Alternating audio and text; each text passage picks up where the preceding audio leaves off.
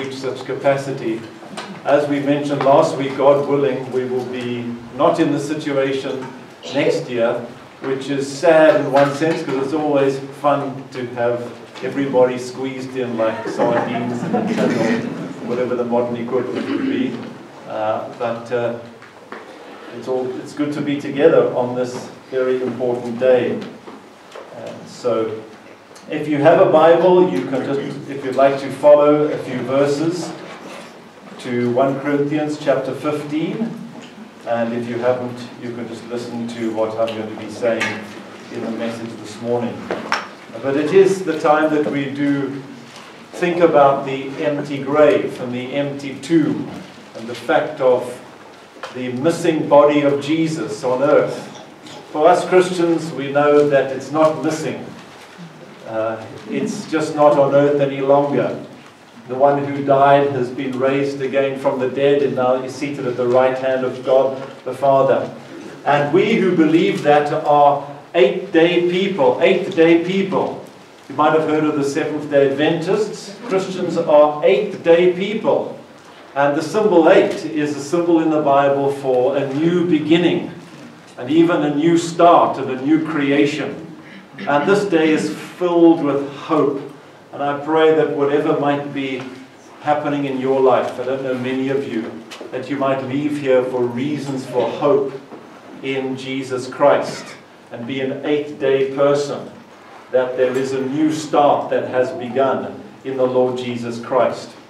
But this new start of the eighth day, if you read the gospel accounts, took the people by surprise, didn't it?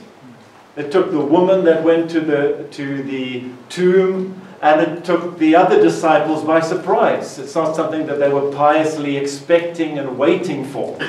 They had actually forgotten and didn't remember the scriptures. But then there was the big bang that took place. Actually, before, of course, early in the morning, the big bang of the new creation, of the resurrection of the body in Jesus Christ. And that took them totally by surprise and had some time to really sink home about the fact that that same body was raised. So, this is what we are celebrating a new start that God has made in this world, a new start that He has launched, a new creation that has come about. It's not just, it's not a small thing that we remember, it's a cosmic change that has taken place. A dead man has returned in a new body that God had fashioned for him, and more than a man, the Son of God. And so this day is hugely significant. Nothing can change the facts of this day today. Jesus has put his foot in the door of history, and nobody can close it. He's made a decisive change that is irreversible, and that if we think about it, is life changing. On this day, Jesus was raised, and a great new creation, a new age has begun. It has erupted into history. Although we don't see it, it has already happened. Eruption is something that happens from the outside, and eruption with the eye is something that breaks in from the outside in and a volcano erupts from the inside out. Something from the outside has erupted and changed the course of history and changed things once and for all. Now, we know, I'm sure, that not everybody believes that Jesus' dead body was supernaturally raised by the power of God and is now seated at the right hand of God the Father. I said that it took the disciples quite a while to wake up to the fact, this unprecedented fact that had never happened in history before, that death was not the final say, but there was a bodily life after death. It took the disciples a while, and uh, in 1 Corinthians 15, we see that actually there were some people in the church at Corinth who have also become very skeptical. They might say, yes, it's wonderful sentiment that we're expressing this morning but uh, do we really all believe dead bodies return? And uh, they were very skeptical about the fact of somebody coming back from the dead. And Paul writes 1 Corinthians 15. I'm going to pick out a few truths in 1 Corinthians 15 to, to present the case of the fact that Jesus has risen from the dead, as Louis read based on the eyewitnesses' accounts, and how this could be so. How this could be so. That somebody could rise from the dead. But of course, even in what I'm going to be saying this morning, faith is necessary, isn't it? Faith. Faith is what we have to have on this day. And this is not something, well, that is unusual. Christians are people of faith. We weren't there at the beginning of creation. Anybody was there? we weren't there at the beginning of creation. How can anybody understand what happened at the beginning of history? The Bible gives a witness. We weren't there to empirically test it, but that's what faith is. We believe that this world was created supernaturally by God, by invisible, the invisible power of God at the beginning. I wasn't there, I can't see it, but I do believe that it's, it's true. And likewise, when it comes to the fact of the resurrection of Jesus, isn't the same thing? I wasn't there, but and I can't see him right now with my physical eye. But as I believe in creation in the beginning, so I believe. And I trust you believe too that Jesus was raised from the dead. There's good reasons for that. And that he is now seated at the right hand of God, and that he will return in his human body and this is what faith is about. And as somebody prayed, Jesus commends us if we believe that. Jesus said to Thomas, who had to only believe empirically and physically, only if I put my finger in his, in his side and in his hands will I believe. And Jesus said, Blessed are people who, who believe, though they have not seen this. And so I trust that we will be counted amongst those who are the blessed, according to what Jesus says. So, what I want to do in this chapter is go through this quite quickly. And uh, I pray that God's Spirit would just cause a, an amen to rise in your hearts, a, a yes of what I'm going to be saying today. But I want to harvest some of Paul's points here in this chapter as he presents the great facts of the, of the risen Christ. And then as he gives us some great alterations in the mind in a response to some of these facts. So let me go through some facts of what Paul is speaking about here because Christian faith is not a philosophy, it's not an ideal, it's not a temperament, it's not a feeling. It's not a tradition. Our faith is based on the facts of history. And this is the way it's presented here. The eyewitness account and for many other reasons, these great facts of the risen, the risen Christ. And as I said in the beginning, the empty tomb is the great fact of our faith. And Paul here gives some some further great statements and a reason and some consequences of the resurrection of Jesus Christ from the, from the dead. And they might be quite unusual, so I, I, I, um, I, I trust that what, what is revealed here about the story of our bodies and the story based on the story of the body of Christ will be pertinent and that the Spirit of God will use it because Jesus' resurrection from the dead is a fact that has huge implications for the human body. And Paul brings out some of these facts in the, this, this uh, particular chapter. So let me go through some of them. Verse 43, Paul says here about the body that we have and the resurrection body verse 43 of chapter 15. It is sown in dishonor and it is raised in glory. It is sown in weakness and it is raised in power. Now, I want to say the Apostle Paul, as he reflects about the body of Jesus, firstly makes this great fact that you and I, if we are believers in Christ, we only and will ever have one body. A body that God has given us, and that body we will have forever. There's one body that God has given the Lord Jesus Christ. And on this day, we acknowledge that the same body that he was born in, the same body that he was crucified in, Paul's points on this chapter is that in that same body, Jesus was raised from the dead. Jesus is now today not a disembodied spirit. He's not some ethereal phantom or spirit that's floating around. Jesus is in the same body that he got from his mother. It transformed, but it's the same body. And so he's known by the scars and known by the wounds, even now in glory, because it's the body that he was crucified in. And this is a, this is a very important fact of belief in the resurrection, that it's the same body that Jesus had when he was crucified that he was raised in. Do you know if you're a Christian, if you're a believer in Jesus Christ, you will have this same body forever?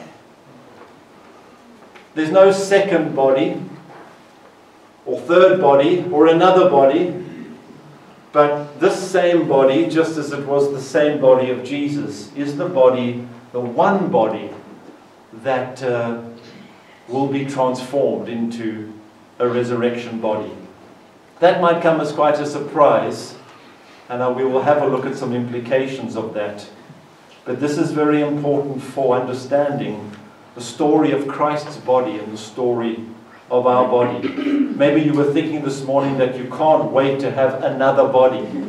And I'm here to say to you, that won't happen. There is no second body just as though there's second body to Jesus. It's the same body that was raised. We'll have a look at some implications before we go about that. That's the first thing I want to say. The second thing that Paul reveals in these chapters is that there are there were two versions to Jesus' body, weren't there? There were two versions. Let's read what it says there in verse 44. It is sown a natural body, it is raised a spiritual body. If there is a natural body, there is also a spiritual body. There were two versions to Christ's body. The version that he had when he was crucified in humiliation, in dishonor, and in shame. But there is the version of the new body that he has received from God in the transformed body that he received and that he experienced on this day that we remember as the resurrection of Jesus from the dead. And Paul wants to tell this to, to these people at, at Corinth because they were quite keen to get rid of the body. They were Greek people and uh, the body was not that good, so as soon as you can shed this old prison house, this mag- bag of maggot flesh or whatever, you can discard the human body, and then all the better for you. And Paul says, no, the body is part of what God has given us and will be with us forever. But there are two bodies. There's two modes of existence, as with the Lord Jesus Christ. There's a human, there's the body of humiliation, and then there's, the, there's the body of glory. And he wants the church to know that, and we need to know that today. There are two bodies the same body that we have, but a radical transformation of that same body, Christians believe will be the body of their eternal state. Paul says in this chapter, it should not be a strange thing that there are different versions of bodies. Look around at creation. Look at all the different, uh, he says here in the earlier verses, the heavenly bodies in verse 40. They are heavenly bodies and they're earthly bodies and their splendor is different. There's a whole host of variety within this creation.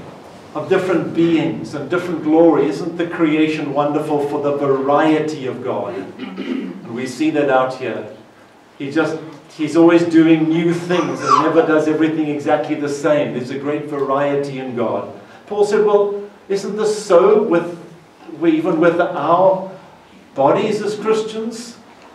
There, there's the body of humiliation, and then there's the body of glory. God is a God of variety. And so it's not unusual as we look at creation, it's not implausible to believe in another body after we die. Look at creation. Of course, we could look at metamorphosis and caterpillars becoming butterflies, which is the great picture of the resurrection. Doesn't it tell us about this? So Paul says, look at creation. And particularly in these verses, he draws our attention to look at the seeds. Look what happens to a seed when that is planted in the ground and then becomes and germinates and becomes a beautiful plant. Two versions of the same thing. One very uh, plain and unpromising, doesn't look like much. There's like nothing's going on there. But you plant that seed in the ground and you just wait. For those of you who've been out to the Karoo after it's rained, it's a symbol of resurrection. It's total death, and you go there. And where did all this stuff come from? It's been there, it's been there, and this, this is what Paul is saying here. There's the current version of our bodies. But for those who trust Christ and look to Him, that's not the end. There is another version. There is a spiritual, heavenly, imperishable, immortal, splendid body.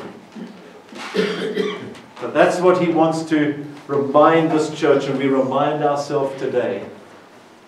There are two versions of the body in Jesus Christ, seen and exemplified in Him who is our head. And Paul does this by ultimately saying this is because there are two human beings Adam the first and Adam the second. Look what verse 22 says here in 1 Corinthians 15. For as in Adam all die, so in Christ all will be made alive. And verse 45 Paul says, The first man, Adam, became a living being. The last Adam, a life giving spirit. The first man was of the dust of the earth. The second man is of heaven. As was the earthly man, so are those who are earthly. And as is the heavenly man, so are those who are of heaven. Paul reminds us that there are really two humanities before God represented in their heads. Not heads here, but in the leaders. Our, the first man, Adam. And we are all sharing in the likeness here this morning in, in, our, in our ancestors. I would love when I get to heaven to say, Lord, please play me the tape. And we used to say that, or please rewind that I can just go back. Course, we'll be surprised who we're related to on the journey back, I'm sure. Especially for people in England and Scotland and Ireland. But to, if we rewind, we've all come from ancestors, haven't we? And the Bible lifts the veil and said there is a primal pair, Adam and Eve, from which we all come. And we are Adam the first, we are all sharing in his likeness and all in his image. We've all sinned like he sinned. We all died like he, he died. We share the type of body that he had, the body of dust and mortality that he had. and we are all related to Adam the first. We are all members and generated from someone. It's humbling, isn't it? We individual individualists and self-made people. No, you're not. You're generated from some ancestors, totally dependent upon them for your being. And they, are, they likewise go back to somebody right in the beginning. And likewise with Christ. There is a new humanity, Paul reveals here. On this day when Jesus rose from the dead, this new creation of his body, he is the head of a new race and of a new people. And for those who are in him and believe in him, they've got a new hereditary in their lives. A hereditary that doesn't go back to the first Adam, a hereditary that is rooted into the heavenly, raised, eternal, glorious, imperishable body of Jesus Christ. That's the hereditary of the Christian and of the new version of their body. It's always in the purpose of God in these two Adams for the head first to be first, and all those who follow are part and members of that one head. And Paul makes a lot here of the order. First, the first man, and then those who are in him. First, Jesus on this day, the first fruits, and then those who are in him. This is the order in creation, isn't it? A good birth is head first. You come out head first, and then the rest of your body follows. And this is what Paul is saying. Jesus is our head. He's come out into the new world, the new birth, head first. The members will follow as they are in Christ. What a wonderful scripture. Paul says in, in, in Colossians chapter 1, verse 18 He is the beginning, the firstborn from the dead. And just the last fact that Paul then goes on to say here. In verse 50, he says, I declare to you, brothers and sisters, flesh and blood cannot inherit the kingdom of God, nor does the perishable inherit the imperishable. Paul makes the point here that the current version of our body is not fit for the future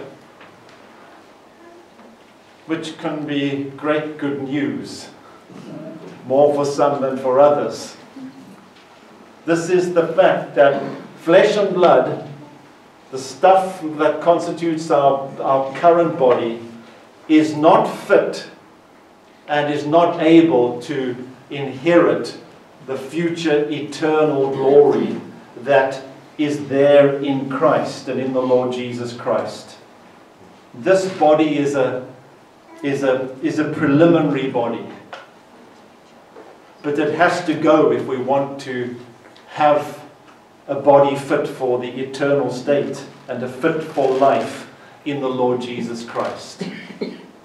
You cannot know the Lord in fullness unless you put off this version of the body. And no wonder the Apostle Paul said, To live is Christ and to die is gain. He felt that at the time of his dissolution of his life, he was actually going to be entering into fullness of exceeding joy, that he felt it was a great gain for his life. This body that we have is incompatible for the future glory. It's quite a verse. Brothers and sisters, flesh and blood cannot inherit the kingdom of God.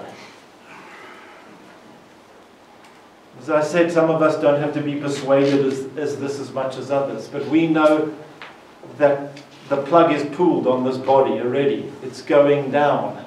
You can't stop the downward, the water going out of the bath. The plug is already pulled, and soon, sooner or later, it'll empty. But God is saying in His word here to the Corinthians, He's saying to them, but you can't enter the, the fullness of glory in this present mode of existence. You can't receive the full weight of glory that's to come. Flesh and blood doesn't enter the kingdom of God. Well, those are some of the great facts facts exemplified in Jesus' death and resurrection from the dead, about the human body and about his body. I want you just to say amen before we go to some of these thoughts. You don't have to, but I think there are important thoughts. What are some great alterations in the mind from these great facts that I've mentioned to you? because faith applies the facts. And these, these alterations in our mind are very important because the scriptures reveal that the devil holds people in slavery over fear of death. In Hebrews chapter 2, verse 14. Through, through certain mindsets, through certain thinking about life and about their bodies and about the future, people are held in slavery, even Christians who shouldn't be. And Jesus has come, and this day is a day of freeing us from the fear of death. And what I'm going to be just saying to you, which we can say amen to, we can say amen in Jesus. Amen. These are not just truths that, well, anybody is true for everybody, it's particularly. And I trust this morning that most of us here have a personal relationship with Jesus as your Savior and as your Lord. That you've looked to Him and feel that now He's a part of your life and you love Him and trust Him absolutely for your life and salvation. And if that's so, then there are a few things we can just quickly look at that this day tells us. We can look at the fact that we are called, in the light of there's only one body that we have, we are called to honor the Creator's work in our current body. How many of us have not struggled with the self acceptance of our bodies, or even longed for something totally different because of hardships or incapacities that you have in your physical body. There are psychological and physical reasons why we could wish to have a different handout when we were born or be like somebody else. I've said to you, and it is the truth, this body, Christ, I'll have the same body with me forever. It'll be different, but it's going to be the same body in the miracle of the resurrection this body will be raised. And so I need to honor God in this current body that I have with gratitude. And that means he, we, we glorify God in our bodies even when we don't like things in ourselves and in our body. We're acknowledging God is our creator. He hasn't made a mistake about me, how I look, or about uh, my physical frame. He is the great infinite variety cre vari creator of variety who's made us all different in his splendor. And I accept who I am, who he has made me in this frame, and I glorify him for that. God is glorified when we can accept our human bodies that we are given. As thankfulness to him, even when there's every reason that it looks like he's made a mistake or he's allowed difficulty to mar something, we can thank God for how He has made us. We can also know that God reserves the best for the last in His process. This is how God works. First, the old version, Paul says here, and then the better version. That's the order. He reserves the best for the last. And we need to wait in faith for the last to come and have it lastingly. Amen. Amen. No, I don't have to be a cliche. Another thing about the fact of these bodies is let's see the new version by faith. Is what Paul wants these Christians to know, and this is what this day is about. In Jesus, do you, do you see in Jesus through his resurrection something bigger than your story, than you thought. The story of your life is not just ending in the grave in Christ. Our stories never end, and they end in glory in Jesus. And we need to see the invisible by faith. That's what faith is seeing things which we cannot see.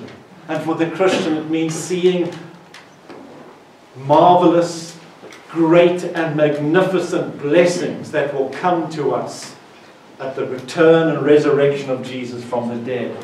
And we need to see that by faith. You're not going to see the future of that plant by looking at the seed. It looks like it's nothing, that seed. And only in faith can you look at a seed and see there's a whole new glory in that seed. Just give it time, and it will soon become a glorious plant or tree. Let's not also, in the light of these facts, be sentimental over this old version that we're wearing this morning. Oh, we can be so sentimental, can't we? Now, yesterday was a cold day and I took out my old corduroys. Oh, I love my old corduroys. I showed my mother-in-law and I, oh, it's great times. Winter is here and they're all worn. They're not taking those away from me. but I'm, we can be, are men sentimental about clothes? Often we old clothes. But uh, it's very easy, isn't it, to be very attached to the current version that we've got. And sentimentally uh, attached. And, and our, it's natural, and our emotions get attached to this current frame, our current mode of existence. But the resurrection detaches us from that sentiment. It wants to disenchant us about this human frame by looking at something far more glorious that will, that will come. And in the light of the newer version, this current version is at times maybe a little bit of a joke we might one day have about this body. You know, when you go on YouTube or you listen to or you see, remember the Nokia 90, in 1995 I got my first cell phone. You've seen that thing. I know some of you would want to go back there because it's you can only phone and SMS. But remember the Nokia with the big pads and the big aerial and just the blanket, just the screen, nothing, just the basics. Now it's a little bit of a joke and it's a, we have a bit of a giggle of old things, don't we? When, when Christians receive their new version, there'll be a bit of a giggle about the things. Thought, hey, you were hung up about that. Eh? It's embarrassing. There's something far bigger. We mustn't be too sentimental about this old version. We also Will you give me an amen to this? Don't invest in this old version as if it is everything. Amen. The world tells you the exact opposite, isn't it? Pour your life and your money and everything just, to, just in your health and everything to try and stay alive because this is all you've got. In the light of the resurrection of Jesus from the dead, we don't have to invest everything in this body as if it's all, because it is not all.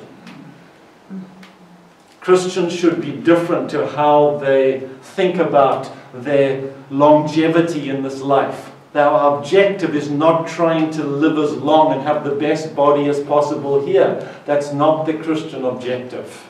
It's very easy to be persuaded that that should be, and to have our faith in God dependent upon our physical well being or how long we live or how much we can be healed, etc. That's not ultimate.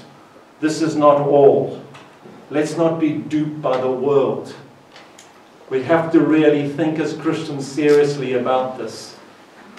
In the light of, we've just been through this pandemic, and we were all told that, well, everybody's going to be dying, and we know now 0.5% or so of people were at risk.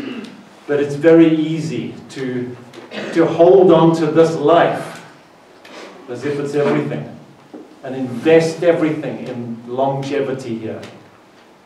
Let's also know that healing of the old version is not a priority. You go to churches, that will be the you'll be healed. We come for your pray for your healing. Healing is the priority.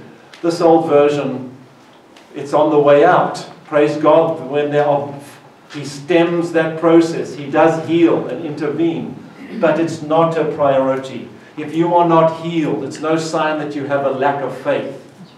It can be a, a sign that you are actually, the Lord is just wanting to remind you that you're going to put off this body soon. It's not a priority for us because of the new version. This flesh and blood cannot inherit the kingdom of God and see death, the light of this day, see death as a sowing of the seed of your life in hope of something great that is yet to come. It is not the end. It is a sowing in hope of something that will yet be more glorious and far better. So, those are some alterations in our mind. But know, and I want to close off with this the big question is to be or not to be in Christ. That is the question. These things are in the new Adam. Are you in him? Let's pray.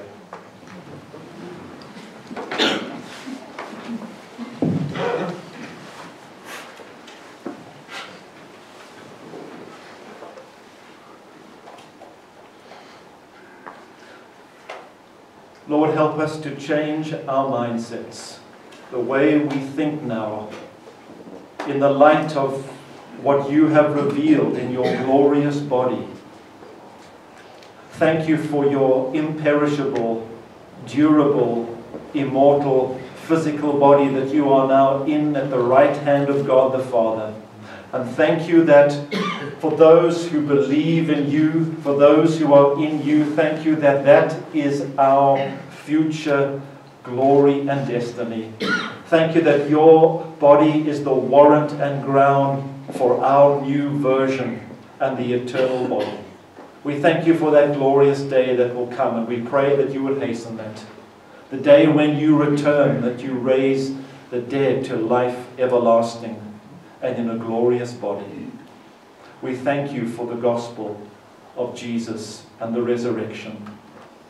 Help us, Lord, how we think of our own bodies. Sober us that we would have a robust and a true faith. Keep us from investing an inordinate and unreasonable amount of time and attention and money on trying to prop up this first version that is perishable and that is going to seed. Keep us from that. Free us from the fear of death through the resurrection of Jesus from the dead. Free us, Lord, that we could live free because we know that the story doesn't end, that you have kept the best for last and that through the resurrection of Jesus Christ, we can be set at liberty. Thank you this morning for this day and all that it symbolizes. Thank you for these truths. Be with us and let the power of the resurrection remain and abide. In Jesus' name. Amen. Amen.